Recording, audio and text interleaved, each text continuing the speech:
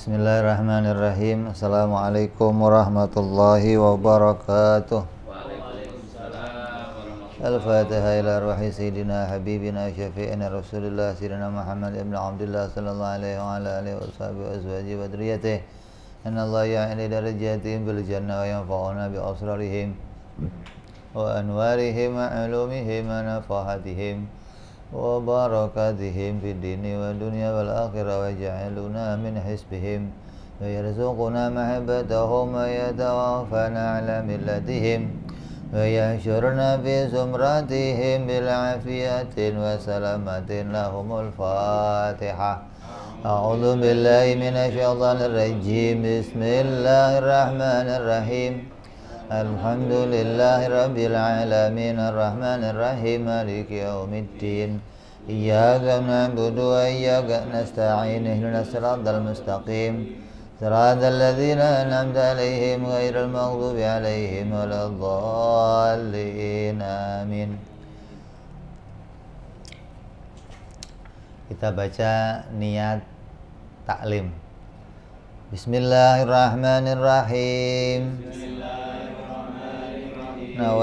ta'alluma wa ta'lima wa tadhakura wa tadhkira wa naf'a wal intifa'a wal ifadata wal istifadata wal hitha على التمسك بكتاب الله وسنة رسول الله صلى الله عليه وسلم والدعاء إلى الهدى والدلالة على الخير إبتغاء مرضاته وقربه وثوابه وحسن الخاتمة مع اللطف والعافية وصلاح العاقبة. Bismillahirrahmanirrahim. Alhamdulillahirrabbilalamin Assalatu wassalamu ala ashrafil anbiya'i wal mursalin. Sayyidina wa habibina wa syafi'ina wa maulana Muhammadin Sallallahu alaihi wa ala alihi wa sahbihi ajma'in. Amma ba'du. Qala musanniful kitab Hadratus Syekh Imam Nawawi Al-Bantani.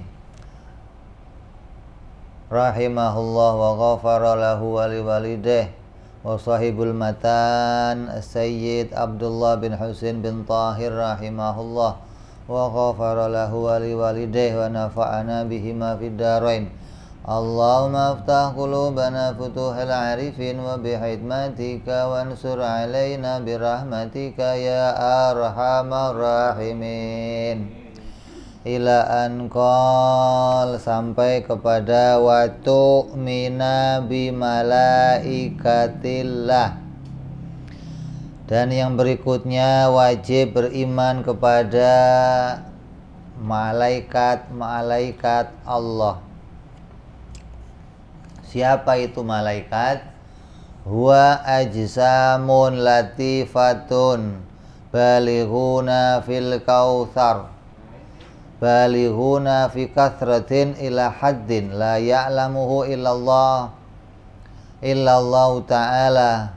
Sufa'a'ullahi sadiquna fima akhbaru bihi anuhu ta'ala apa yang harus kita imani kepada malaikat Allah? Yang pertama, malaikat itu adalah makhluk atau hamba Allah yang diciptakan dari materi yang lembut. Materi yang contohnya materi lembut kayak apa? materi yang lembut kayak apa contohnya Hah? Halaman 36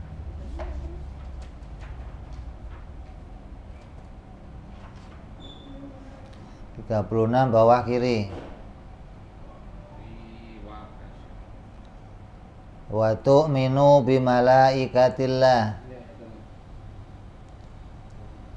Malaikat diciptakan dari jisim-jisim yang lembut atau materi yang lembut kayak angin, kayak cahaya.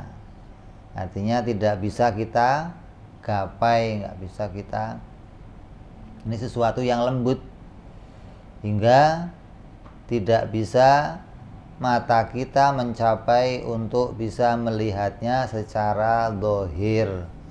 Karena mereka hamba-hamba yang disembunyikan oleh Allah namanya hamba-hamba yang apa namanya diceritakan tapi barangnya belum pernah ditunjukkan kepada kita hingga nanti pada waktunya jumlahnya malaikat itu tidak terbatas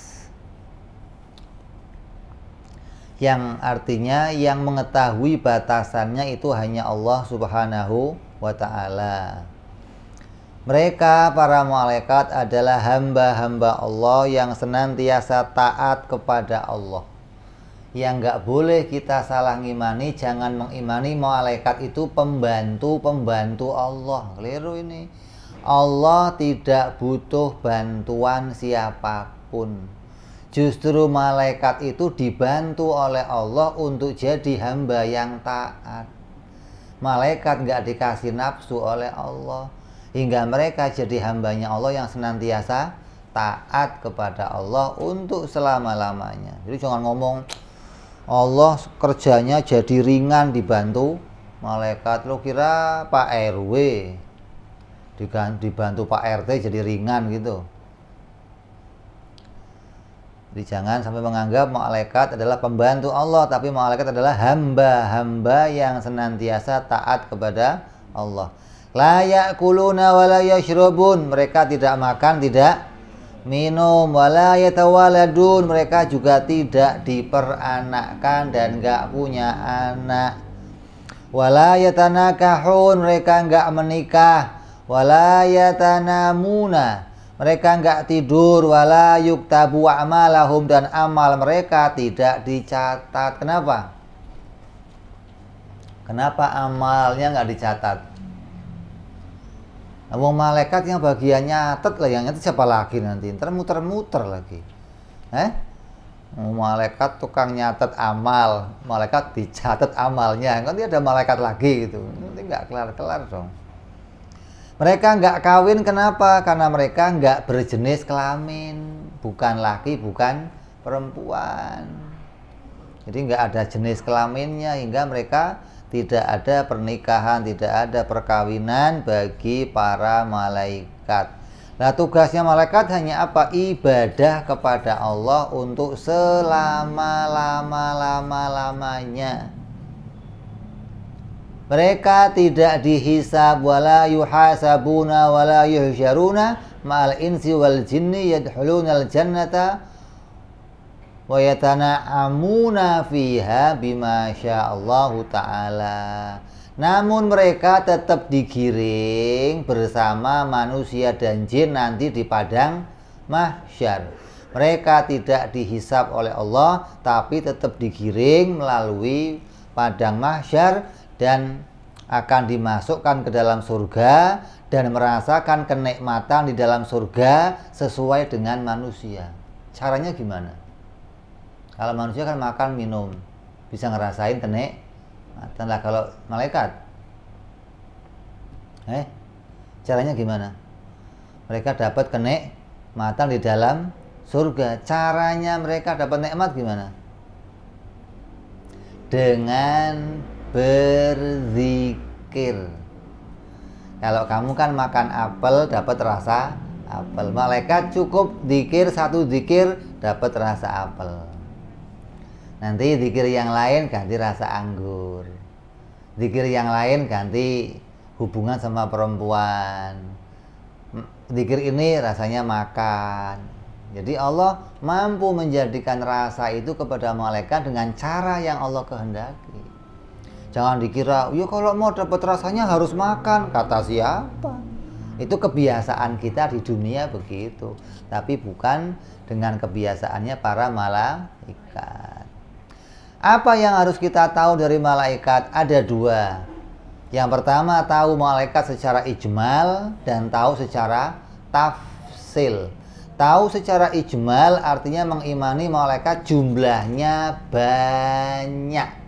Nggak usah dihitung berapa. Tahu malaikat secara tafsil jumlahnya ada 10. Itu harus tahu dan hafal. Kalau nggak tahu, dosa. Siapa 10 itu? Pertama, malaikat Jibril alaihi salam. Tugasnya apa? Ngurusin wahyu sekarang nggak ada nabi tugasnya apa? Pensiun. Hah? Tugasnya apa? Ya Allah kasih tugas yang lainnya. Di antara yang paling istimewa apa? Kalau ada orang mati, dia mati dalam keadaan membawa wudhu, maka malaikat Jibril hadir ke makamnya.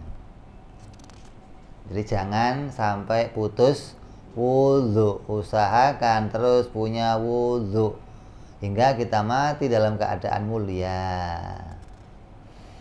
Terus yang kedua malaikat Israel apa tugasnya? Mencabut nyawanya masih apa siapa saja hingga semut kuncing corona mati yang nyabut malaikat Israel. Siapa pun juga, sampai malaikat Israel nanti paling akhir ketika semua mati, dirinya belum mati. Caranya dia mati gimana? Dicabut ruhnya sendiri.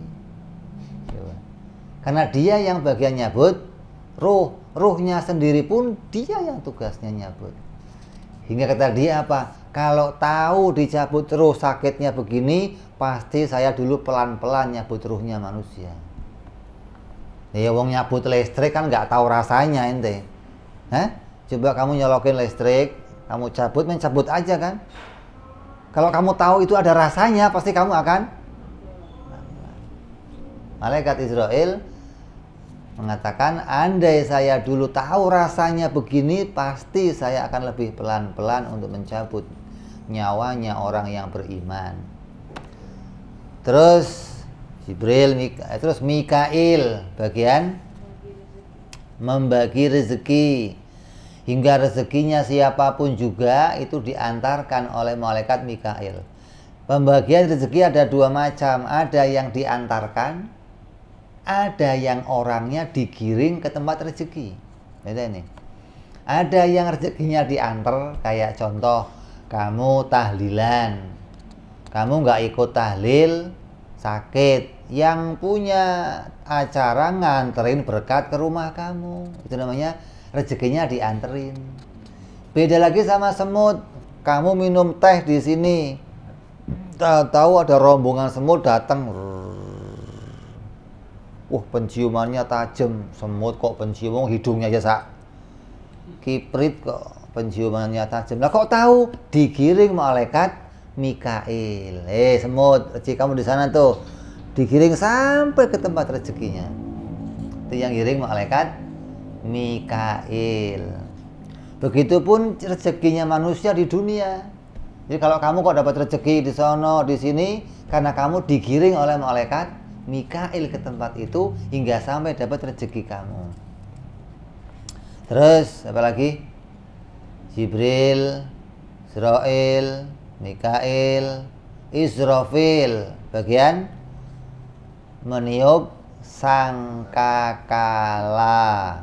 Terus munkar, nakir bagian bagian apa munkar nakir? Hah?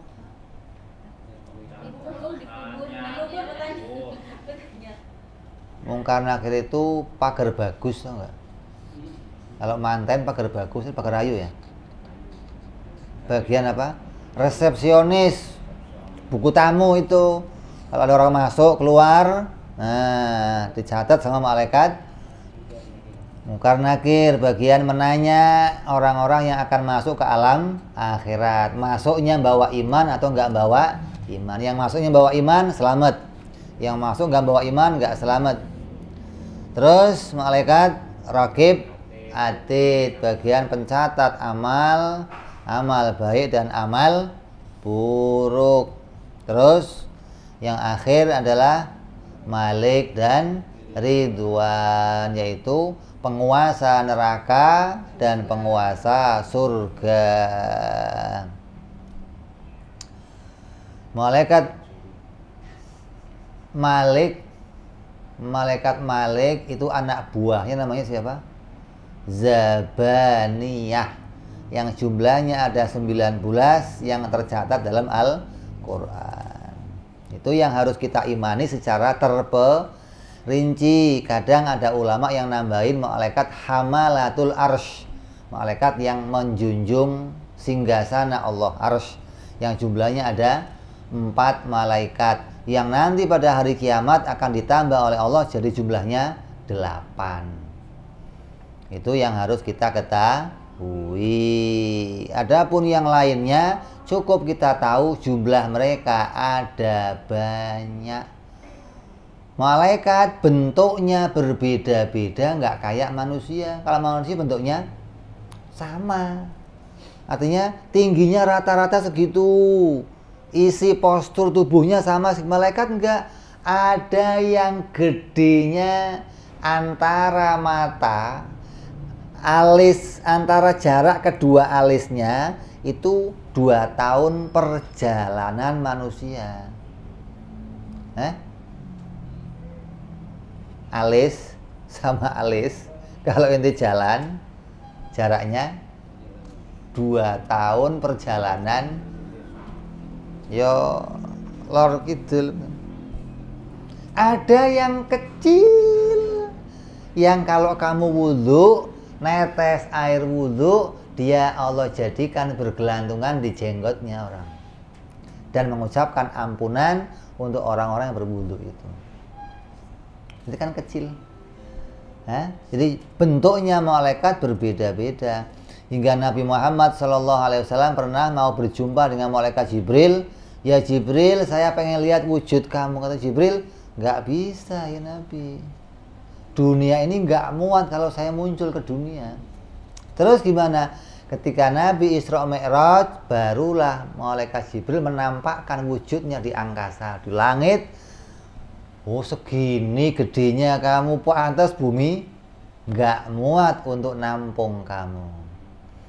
Itu besarnya para malaikat Allah itu berbeda-beda antara yang satu dengan yang lainnya. Siapa pemimpinnya malaikat? Ada yang mengatakan yang paling masyhur malaikat Jibril alaihi salam. Di samping dia menyampaikan wahyu kepada para nabi, dia juga menyampaikan berita kepada bangsa malaikat karena dia pemimpinnya. Batas itulah yang harus kita imani tentang para malaikat.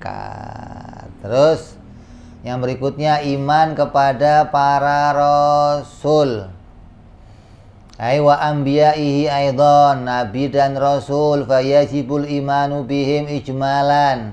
Wa hum mi'atin wa thalatha asyrah wakila arba'ata asyra wakila hamsata asyra wajib kita iman kepada mereka secara global. Global itu apa secara garis besar gitu loh.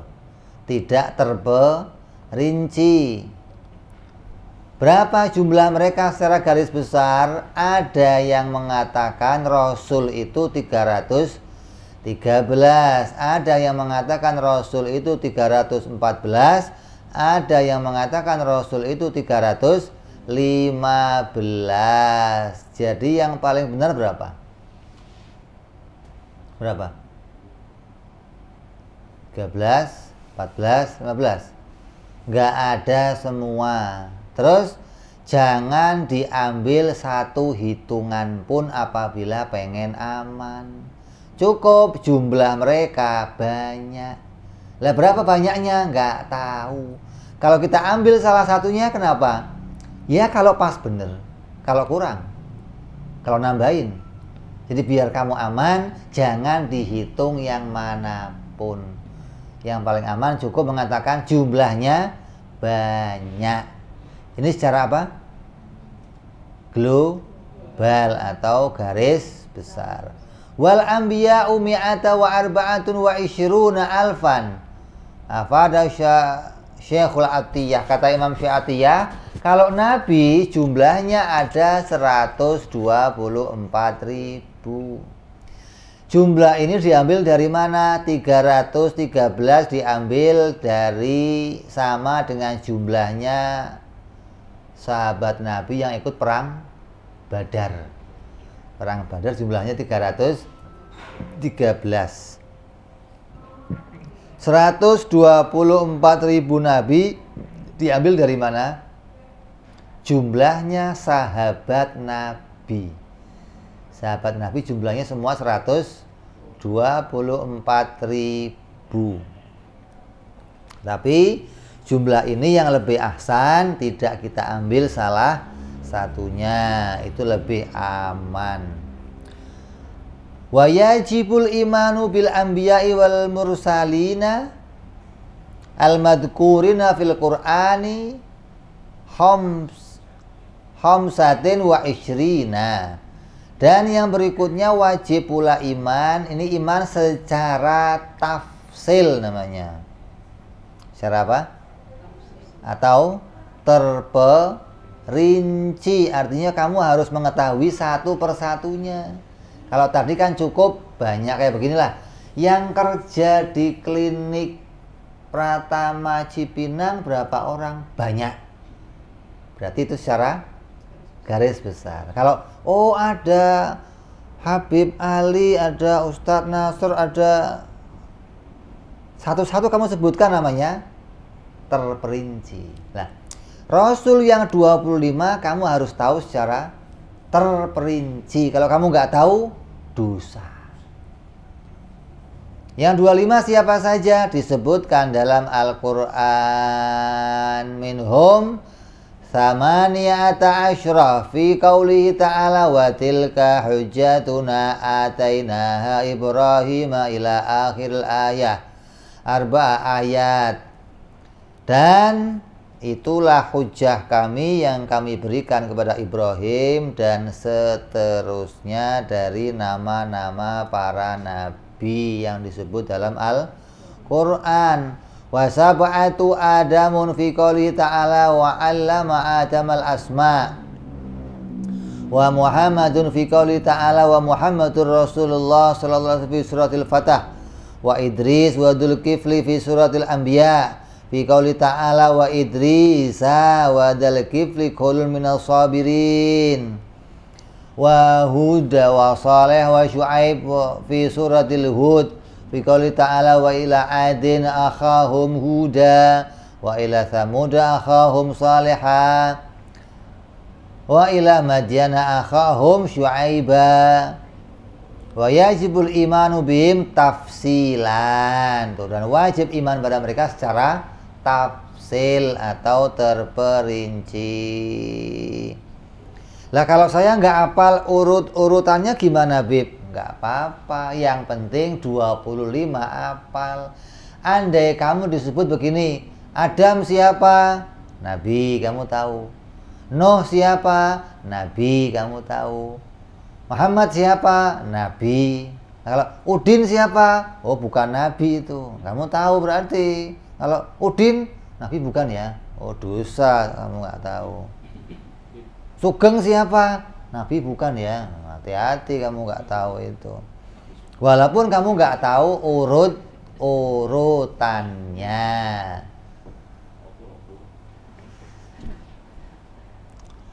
Di antara para nabi yang wajib kita imani di antaranya apa? Fa idza ankara nubuwata aw risalata wahidin minhum ba'da ta'limihi kafaro. Coba. Apabila seorang mengingkari terhadap kenabian dan kerasulan salah seorang dari mereka setelah mereka mendapat pelajaran, maka hukumnya kafir. Nggak ada toleransi nih yang ingkar nabi hukumnya kafir. La anahu yakfuru ibtidaan bal huwa asin apa ada syiatiyah. Bukan kafir. Bahwasannya ia menjadi kafir pada permulaannya sebelum mendapatkan pengajar akan tapi ia hanya dihukumi sebagai pendurhaka saja apabila dia sudah mendapatkan pengajaran. Kalau belum dapat pelajaran gimana hukumnya? Maksiat. Tapi kalau sudah dapat pelajaran, tahu itu nabi, ditolak hukumnya kafir. Kenapa orang Yahudi kafir? Padahal nyembah Allah. Kenapa kafir? Menolak Nabi Isa sebagai nabi. Kenapa orang Nasrani kafir? menolak Nabi Muhammad Shallallahu Alaihi Wasallam. Mereka orang Yahudi Nasrani ngakui nabi-nabi. Nabi Adam diakui, Nabi Ibrahim diakui, Nabi Nuh diakui. Tapi ada nabi yang nggak diakui, nggak ngakui nabi itu hukumnya. Apalagi ditambah ngaku Nabi Isa sebagai Tuhan, tambah lagi kafirnya. Nggak usah dah dia ngakuin Nabi Isa sebagai nabi, tapi nggak ngaku Nabi Muhammad kafir. Tetap mereka nggak selamat walaupun mengakui Nabi Isa hanya sebagai nabi, apalagi ngakuin sebagai Tuhan. Wa makna kaunil imani bihim wajiban tafsilan annahu law uridha minhum lan yunkir nubuwatahu wala risalatahu. Pengertiannya iman tafsil begini. Seandainya seseorang dari mereka itu disodorkan nama-nama seorang dari mereka, maka ia tidak mengingkari kenabiannya dan tidak pula mengingkari kerasulannya gitu loh. Tanya nih, Nabi Adam siapa? Nabi, Nabi Nuh, Nabi. Kamu tahu mereka sebagai Nabi Allah dan mengakuinya. Walaisal muradu annahu yajibu hifdun asma'ihim dan bukanlah yang dimaksud bahwa kamu wajib hafal nama-nama mereka khilafan liman za'ama dzalika. Afada Syekhona Yusuf fil Fathil Qadir al-Murid. Hal itu beda dengan pendapat yang menyangka harus menghafalkan. Jadi ada dua pendapat ulama yang mengatakan harus hafal, ada yang mengatakan cukup tahu. Ini pendapat Syekh Yusuf dalam kitab Fahatil Khadir Al-Murid. Terus yang wajib diimani pula apa pada para nabi? Mereka orang yang semuanya punya sifat sidik, tablik, amanah dan fatona. Dan semua nabi pasti laki nggak ada perem walaupun perempuan kedatangan malaikat Jibril tetap mereka nggak jadi nabi. Ada nggak? Perempuan yang kedatangan malaikat Jibril ada nggak? Siapa? Siti Maryam ibu Nabi Allah Isa alaihissalam walaupun kedatangan tetap tidak menjadi nabi karena syaratnya nabi adalah Perem kecuali liae dan udah mati.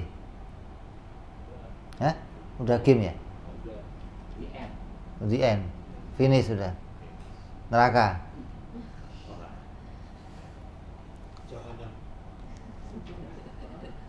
Itu yang harus diimani wajib iman bahwa mereka sidik, tablik, amanah, patona, mereka laki-laki, mereka orang yang merdeka.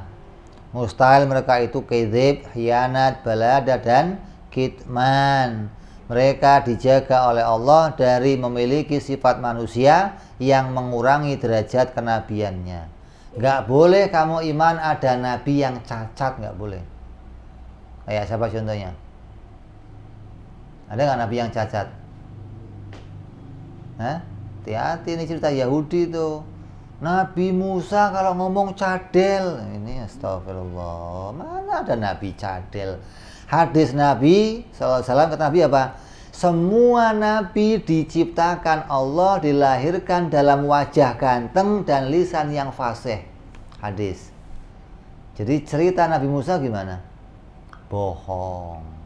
Kalau Nabi Musa nggak bisa ngomong R, bre, hmm. Gimana Nabi kok begitu? Nabi kok nggak bisa ngomong R? Itu buktinya minta tolong Nabi Harun rusak yang begitu udah nggak ada hubungan sama Nabi Harun tiap Nabi diciptakan oleh Allah dalam keadaan fasih Begitupun nabi-nabi yang lain nanti kita cerita perinciannya secara benar agar iman kita nggak rusak kepada para nabi. Sekarang banyak orang-orang yang salah baca, beli kitab-kitab yang nggak jelas, isinya kitab yang rusak. Terus yang berikutnya wa yajibul iman bi kutubis samawiyah iman pada kitab-kitab yang Allah turunkan dari langit. Wa yajibu jazmul aqidati bima warada fil Qur'ani min inzilalit Taurat. Wal Injil wal Zabur wal Furqan wa suhufi Ibrahim wa ya amsalun wa suhufin Musa wa ya ibaratun wa ya ibarun ay mau'idun wa ma ada dalika ijmalan wajib hati kamu mantep. Bahwa Allah Subhanahu wa taala menurunkan kitab suci yang jumlahnya banyak. Berapa? Berapa? banyak. Jangan dihitung berapa jumlahnya. Itu iman secara ijmal secara global secara garis. Jadi Allah punya malaikat banyak. Allah punya para nabi banyak. Allah punya kitab banyak. Itu iman secara global. Adapun iman terperinci maka kitab yang wajib kita imani ada empat. Yang pertama Az-Zabur, terus At-Taurat, terus Injil, terus Al-Qur'an. Ada pula ditambah namanya suhuf. Apa itu suhuf? Lembaran-lembaran yang diturunkan yang berisi berbagai macam petunjuk. Rupanya apa? Peribahasa peribahasa. Itu turun untuk Nabi Ibrahim. Wa Musa. Gitu kan. Ada suhu pula turun ke Nabi Musa. Jadi Nabi Musa dapat dua sebelum dapat Taurat dapat suhuf setelah suhuf dapat diperintah naik ke Gunung Sinai pulangnya dapat Taurat Isinya suhu Nabi Musa apa? Isinya adalah petuah-petuah atau nasihat-nasihat kepada Bani Israel alaihi salam. Bani Israel itu anak keturunan Nabi Allah Ishak yang julukannya Israel. Waman ankara ayatan minal Quran kafaro. Siapa yang ingkar satu ayat saja dari Quran maka hukumnya kafir. Makanya sering kali wanita ada yang ingkar. Hati-hati. Saya mah cocok di Quran semua pip. Yang nggak cocok apa itu? Masna, wasulasa, waruba. Saya nggak cocok tuh pip laki-laki boleh kawin dua, tiga atau empat. Nah, itu nggak cocok saya bib. Oh ingkar kafir. Ingkar nggak? Mau kawin? Nah begitu. Lah ya kalau ingkar hukumnya?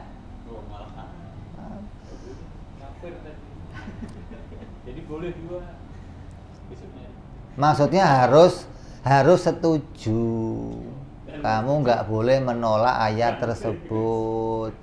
Banyak wanita dikatakan kalau ada wanita pengen mencari jalan ke surga dengan mudah dari jalan mana saja kamu bisa ridho kalau suaminya kawin lagi. Kata harimnya apa? jalannya satu aja nggak apa-apa lah Bib, usah banyak-banyak Bib. Yang penting jangan kawin lagi sama saya. Jadi kalau sama ayat ini kayaknya nggak cocok loh, gerah. Padahal ini ayat bukan perintah. Ini ayat bukan anjuran, bukan.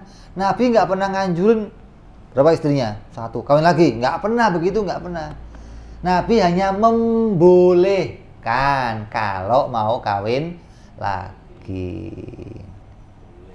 Sebelum Nabi Muhammad itu para laki-laki punya istri berapa? Lebih dari empat, ada yang dua lima, ada yang tiga lima, Hah? ada yang tujuh lima. Nabi Dawud istrinya seratus. Tapi setelah Nabi Isa alaihissalam cukup satu, nggak boleh nambah pindah ke Nabi kita boleh lebih dari satu, nggak boleh lebih dari empat. Jadi cukup empat.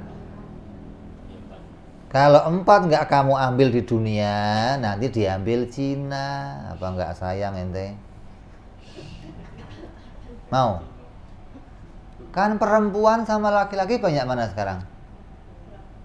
Jadi kalau perempuan nggak mau ikut ayat Quran dia nggak punya solusi tahu nggak ini solusi yang luar biasa ketika laki-laki dan perempuan lebih banyak perempuan Allah kasih solusi terbaik pengen jangan ngadu-ngadu nanti mas. Jadi siapa yang ingkar satu ayat Quran maka dia kafir. Begitupun ayat Quran yang lainnya seperti di antaranya fa'lam annahu la ilaha illallah. Apa arti artinya? Kamu diperintah berpikir tentang sifat-sifat Allah subhanahu wa ta'ala. Siapa yang ngomong nggak usah mikir-mikir sifat Allah, ingkar sama Quran dia.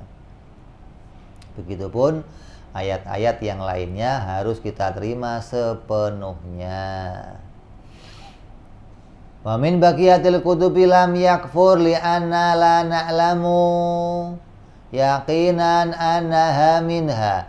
Adapun dari kitab-kitab yang lain kalau saya nggak yakin ayatnya gimana nggak kafir. Kenapa? Karena kita nggak tahu secara pasti itu termasuk ayatnya atau bukan. Karena kitab-kitab yang sebelumnya sudah di apa? Di ditambahin, dikurangin, dipotong, didistorsi apa namanya? Hah? Ada yang pemanggelan kata, nambahin kata, ada yang diedit deh. Apalagi dikasih footnote segala biar lengkap. Ini hati-hati dengan yang demikian.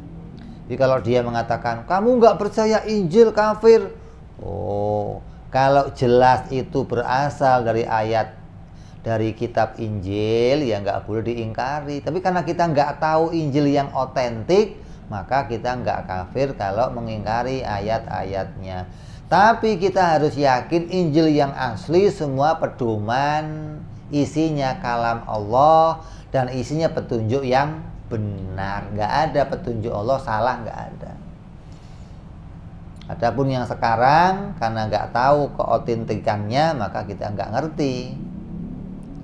Wala yukbalu qawlu ahli kitab annaha min hali annaha kidbahum zahirun wa takhrifuhum bayyinun. Coba lihat tuh dan tidak boleh diterima pernyataannya orang-orang ahli kitab yang menyatakan bahwa ayat tersebut memang dari kitab yang asli.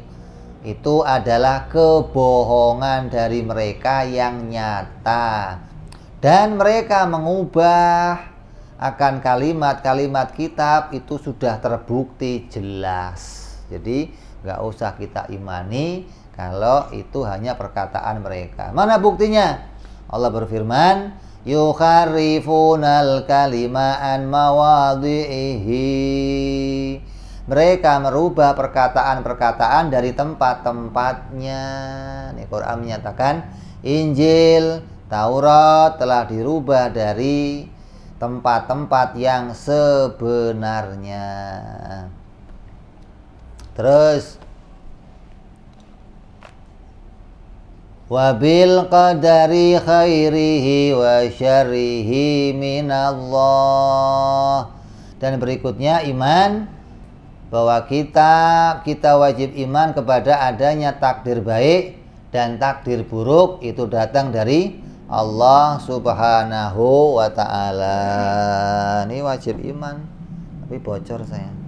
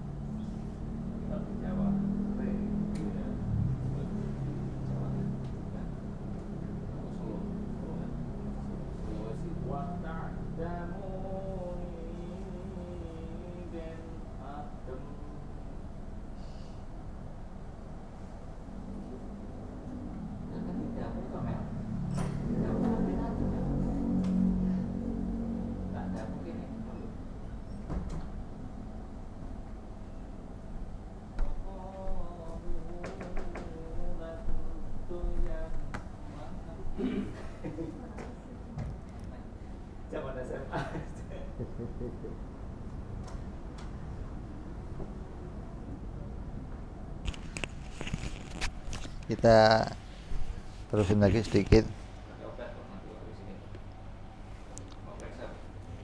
Hah?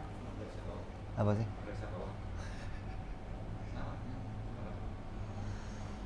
Bismillahirrahmanirrahim.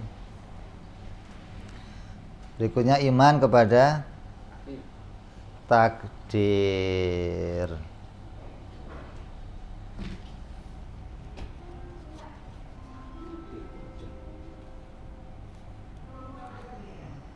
Takdir itu semua dari Allah. Wa ma'nal imanu bihi ay an ta'taqida anna Allah qaddara al-khaira wa syarra qabla al-khalqi. Qabla al-khalqil khalq. Wa Allah Subhanahu wa taala itu zat yang mentakdirkan, artinya Allah Subhanahu wa taala telah menentukan nasib yang berupa nasib baik ataupun nasib buruk sebelum penciptaan makhluk. sebelum makhluk diciptakan sudah sudah selesai semua ketetapan Allah kamu nasibnya gimana dia nasibnya gimana pula nasibnya gimana Allah tentukan sesuai dengan kehendaknya Allah sendiri wa anna jami'al kainat biqada'illahi ta'ala wa qadarihi wa huwa muridun lahuma.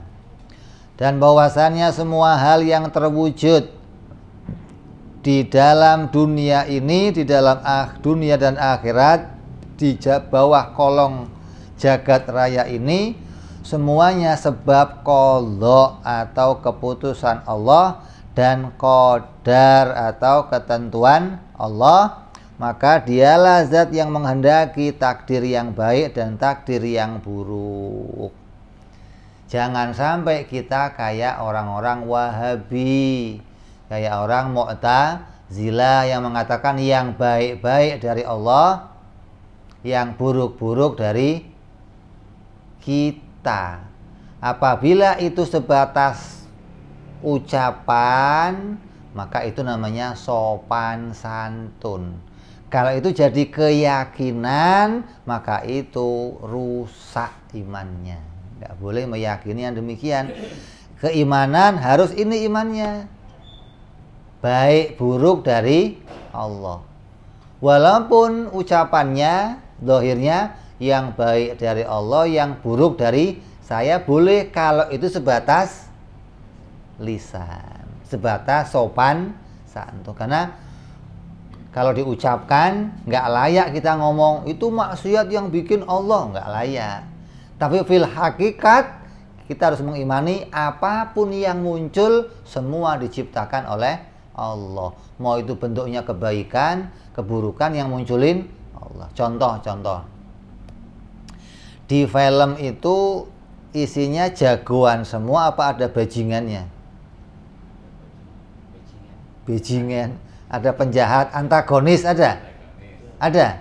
Yang bikin siapa? Sutradara. Jagoannya siapa yang bikin? Nah itu begitu harus. Itu film makna hakikat harus begitu. Semua yang muncul di jagat ini yang bikin Allah. Adapun pada dohirnya, karena kita terikat pada aturan, amal, ketika ada orang berbuat jelek, maka dia suruh ngakuin kamu yang berbuat jelek. Gitu loh. Kalau berbuat baik, kita ngakuin ini atas pertolongan Allah. Itu makna dohir namanya. Jangan dibalik. Kalau dibalik jadinya nanti jabariyah. Wa ana jamil kainat bi ilahi ta'ala wa qadari wa muridun lahuma wa kafa jazimun bidzalika min ghairi nasbin burhanin Cukuplah keyakinan yang mantap tentang semua hal itu tanpa harus menegakkan pembuktian. Kenapa nggak usah pakai bukti? Sebenarnya hal ini sudah masuk dalam iman kepada Allah. Kalau kamu tahu apa sih yang harus saya imani tentang Allah? Oh iman tentang Allah itu wajib iman Allah bersifat wujud, kidam, bakok, mukhalafah, qiyamu binafsi, wahdaniyah, kudrat, irodat. Nah dari sifat kudrat, irodat inilah kita akan bicara tak takdir. Di situ kita akan tahu, oh ternyata sifat kudrat Allah itu memunculkan segalanya. Tapi kalau kamu nggak pernah ngaji sifat kudrat, nggak pernah ngaji sifat irodat, ya kamu akan bingung, kenapa kok takdir begini? Kenapa nasib saya begini? Salah apa saya? Salah apa? Salah semua.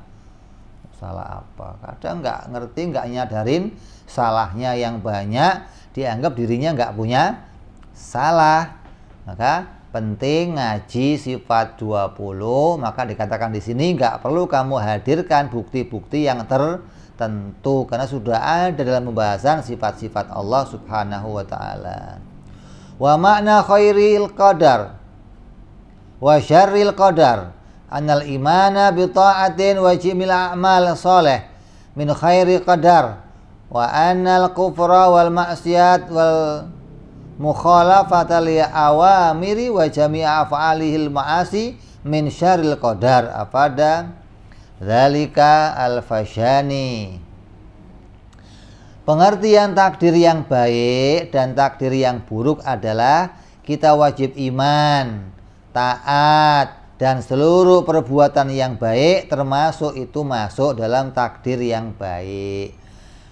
Berbuat amal soleh, wirid, dikir, sholawat termasuk dalam takdir-takdir yang baik. Dibikin ganteng, dibikin sehat, dibikin cantik, dibikin punya kerjaan yang baik. Itu takdir yang baik masuknya. Adapun kekufuran, kemaksiatan, perbuatan yang menentang kepada perintah Allah dan seluruh perbuatan maksiat itu bagian dari takdir buruk. Secara dohir kita yang memilih. Eh? Kalau kamu mengikuti perintah Allah, kamu akan selamat. Kamu celaka kenapa? Karena mengingkari perintah Allah. Maka kesalahan kamu adalah kamu menentang atau tidak menjalankan yang diperintahkan oleh Allah, malah menjalankan yang dilarang oleh Allah. Hingga apabila karena menjalankan larangan Allah kamu dapat bencana, itu sudah pantas selayaknya. Fa inna Nabiya sallallahu alaihi wasallam jaa bi wujubi tasdiqi dzalika kullih Sungguhnya Nabi Muhammad Sallallahu Alaihi Wasallam datang kepada kita membawa kewajiban membenarkan hal itu semua bahwa yang baik yang buruk datang dari Allah. Kama akhraja Syekhan an Umar anna Jibril alaihi salam qala lahu sallallahu alaihi wasallam akhbirni anil iman. Ini hadis Jibril nih. Sebagaimana dikeluarkan dari Imam Bukhari Muslim bahwa Sayyidina Umar dari Sayyidina Umar tentang datangnya malaikat Jibril kepada Rasulullah yang bertanya tentang tiga perkara mahwal iman mahwal islam mahwal ihsan maka di antaranya Nabi menjawab qala al imanu antuk billahi wa malaikatihi wa kutubihi wa rusulihi wal yaumil akhiri wa tu'mina biqadari khairihi wa syarrihi. Ini hadis nyata. Ai faman lam yusaddiq biwahidin minha fahuwa kafirun coba nih siapa yang enggak iman takdir baik buruk dari Allah hukumnya kafir coba kalau kamu mengatakan, wow ada orang maksiat, ada orang berbuat begini, itu mah bukan Allah yang bikin. Hati-hati kamu. Kalau hati kamu ngingkarin, bukan Allah yang bikin, hukumnya kafir. Tapi walaupun kamu tahu itu Allah yang bikin, jangan diomongin. Kamu kok enggak setelah subuh kenapa? Gimana lagi dibikin Allah begini sih? Enggak boleh begitu. Fil hakikat harus iman. Tapi pada dohir nggak boleh kita ucapkan. Yang kamu ucapkan harus alasannya. Iya semalam nonton bola saya kesiangan. Nah begitu harusnya. Walaupun fil hakikat tahu itu ketentuan Allah subhanahu wa ta'ala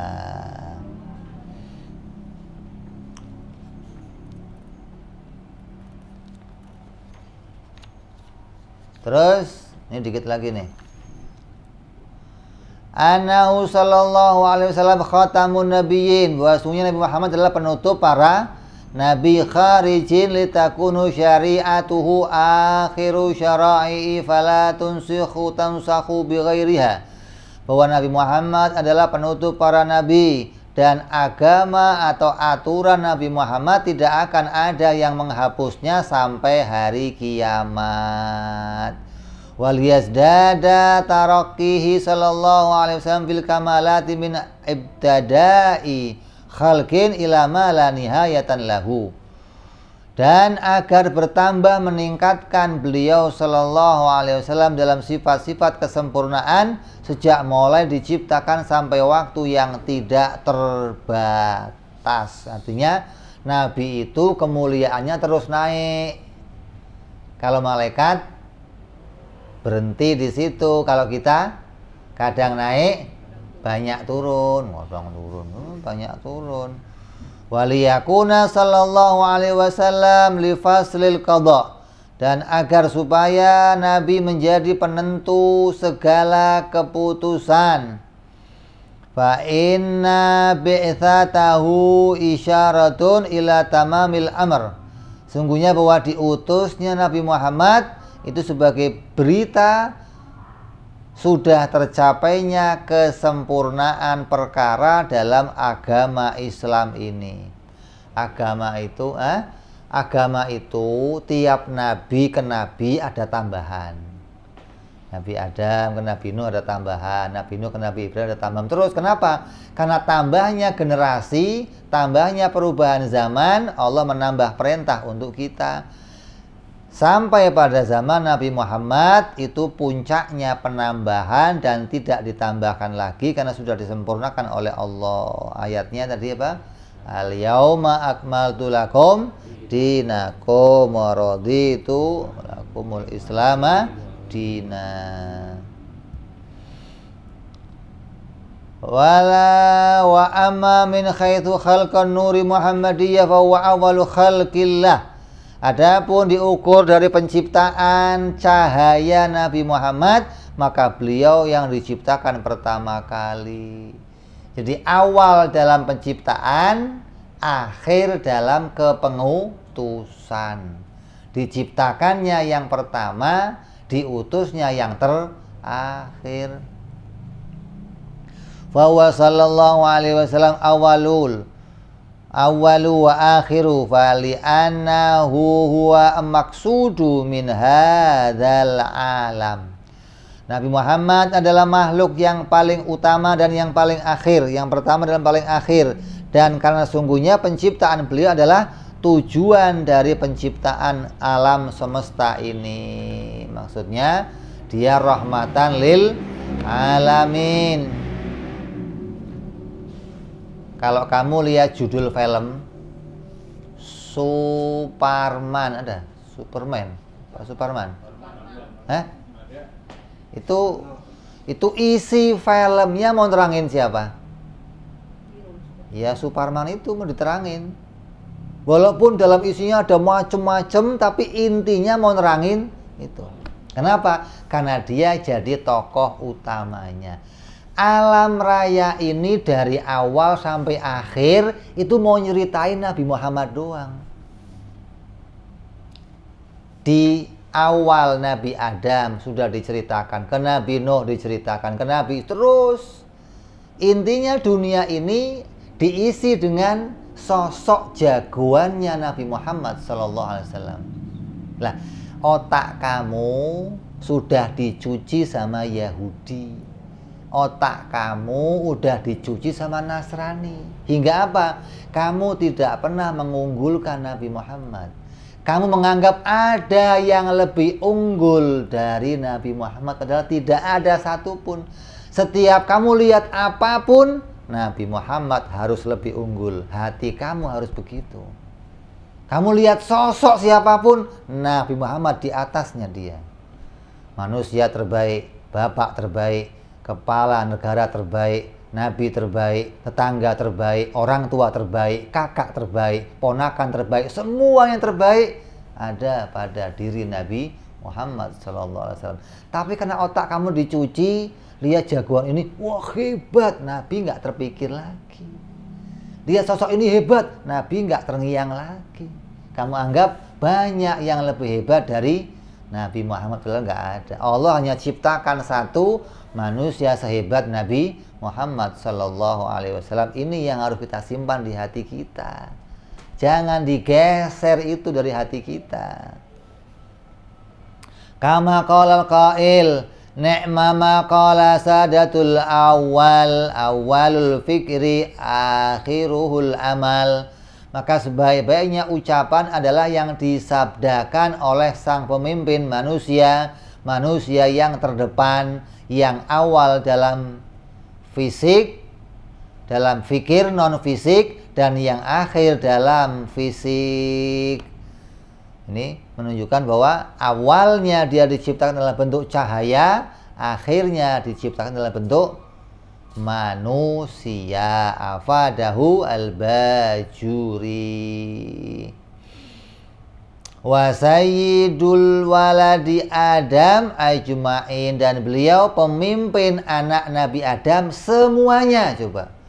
Pemimpin itu lebih mulia dari yang dipimpin apa enggak? Enggak. Pasti lebih mulia. Beliau memimpin seluruh manusia berarti beliau paling hebat di antara semua manusia. Kalau di hati kamu masih mengatakan ada yang lebih hebat dari Nabi Muhammad otak kamu sudah keblinger namanya. Qala sallallahu alaihi wasallam ana Nabi yang ngomong nih ana sayyidu waladi Adam wala fakhar aku adalah tuannya anak Nabi Adam anak cucu Nabi Adam dan aku ucapkan ini tanpa sombong gitu loh Ai ana sayyidu jami'i auladi wala aqulu dalika fakhrun. Ai iftikharan bal tahaddutsu bi mah Aku adalah pemimpin seluruh anak Adam dan aku mengatakan hal itu karena bangga. Merasa bangga dengan Allah menciptakannya demikian.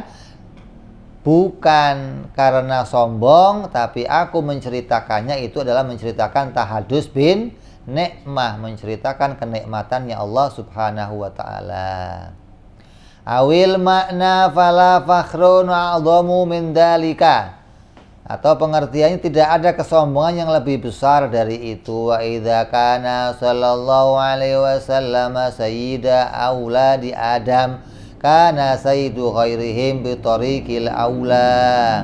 Apabila keadaan Nabi sallallahu alaihi wasallam adalah tuan pemimpin bagi anak-anak Nabi Adam, maka keadaan beliau adalah sebagai tuan bagi selain mereka dengan landasan yang lebih utama. Kalau bagi anak Nabi Adam aja dia jadi pemimpin, apalagi bagi makhluk yang lainnya. Bahwa manusia hamba yang paling mulia di antara semuanya. Kalau manusia yang paling mulia dipimpin Nabi Muhammad, apalagi makhluk yang lain. Jin, malaikat, tumbuh-tumbuhan, hewan, semua tunduk sama Nabi Muhammad sallallahu alaihi wasallam.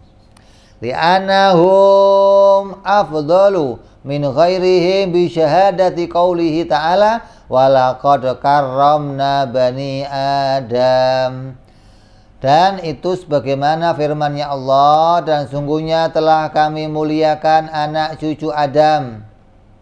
Ini bentuk ayat yang menunjukkan bahwa manusia dijadikan oleh Allah menjadi hamba yang paling mulia. Kalau manusia paling mulia dipimpin Nabi Muhammad, maka apalagi hamba-hamba yang lainnya. Fa inna qila hadzal haditsu la yadullu ala sayadati sallallahu alaihi wasallam ala Adam wa innama yadulu ala siyadatihi ala auladihi. Ada yang mengatakan begini, hadis ini tidak menunjukkan Nabi Adam Nabi Muhammad lebih mulia dari Nabi Adam, tapi menunjukkan Nabi Muhammad lebih mulia dari anak cucu Nabi Adam. Maka Imam Nawawi akan jawab pertanyaan itu. Dijawab, wa ujibu bi ana fi auladi Adam man huwa afdalu min Adam. Wa idza kana sallallahu alaihi wasallam afdalu kana sayyidal mafdul min babi aula. Di antara anak Nabi Adam terdapat manusia yang lebih utama daripada Nabi Adam. Dan apabila keadaan Nabi Shallallahu Alaihi Wasallam sebagai tuan baik yang lebih utama tersebut, maka keadaan beliau sebagai tuan pula yang terungguli ke dalam sub bagian hal yang lebih utama. Jadi secara tersirat, beliau lebih utama daripada seluruh para nabi. Wa inna malam yudhkaro Adam ta'adduban ma'ahu dan sungguhnya Nabi tidak disebutkan, tidak menyebutkan Nabi Adam secara langsung. Itu lantaran etika beliau, adab beliau, sopan santun beliau kepada Nabi Adam alaihi salam. Li'annahu abu dhahiran wa in kana sallallahu alaihi wasallam huwal abu fil makna karena sungguhnya Nabi Adam itu adalah ayah secara lahiriah Meskipun secara batiniah Nabi Muhammad adalah ayah pada hakikatnya. Coba.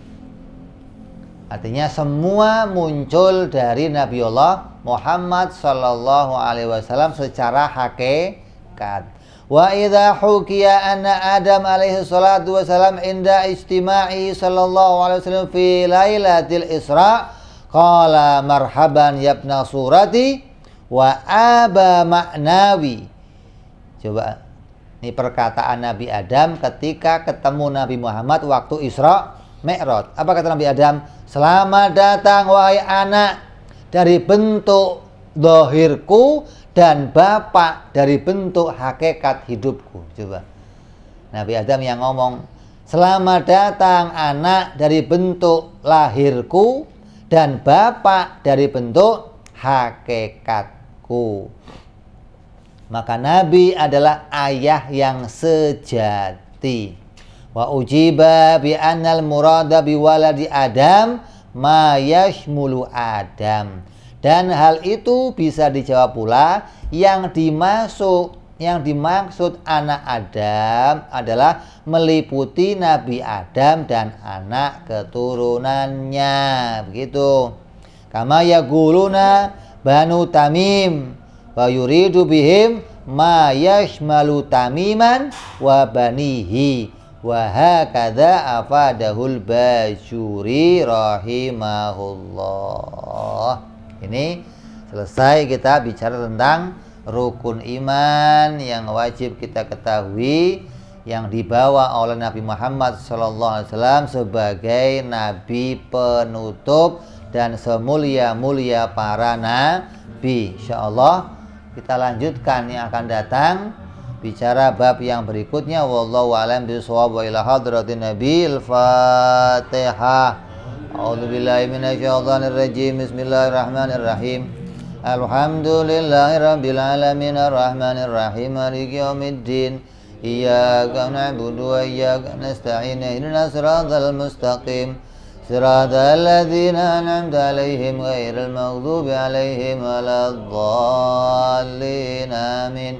يا ربنا اعترفنا بأننا اقترفنا وأننا أسرفنا على الأضاء إشرافنا فتوب علينا توبة. تغسل كل حوبة. واستر لنا عوراتي وآمن رواتي واغفر لوالدينا ربي ومولودنا والعلي والإهوان وسائر الهلان وكل ذي محبة.